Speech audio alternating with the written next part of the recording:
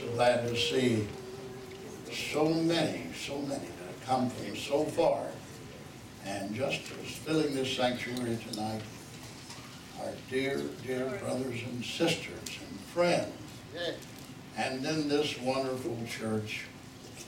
I want to commend all of you for working so hard today on the grounds here. There was a small army here, and they were just cleaning and clipping and mowing and cutting and scraping, and just a small army inside the sanctuary and outside. And it made this place look so good.